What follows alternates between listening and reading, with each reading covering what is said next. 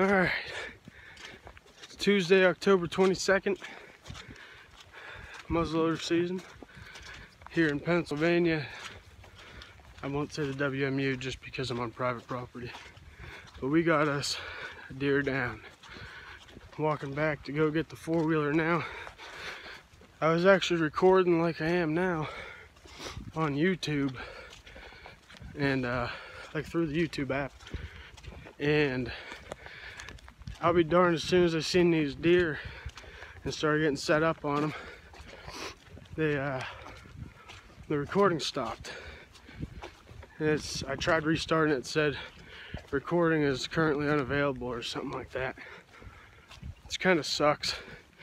It's like they had somebody monitoring my channel. And as soon as I seen something, it was getting set up on it. They're like, no, we can't have that on YouTube. So instead of demonetizing me, because I don't make any money anyways, they decided to shut it down. It's alright. I got it with the old trusty Tactacam, so it's to be on YouTube anyways. Could be a conspiracy, could be factual. Who knows? Can't tell I'm a little under the weather. It's been raining all morning. Was kind of hoping I didn't get one till tonight when it wasn't raining. But at least now I got all day to relax.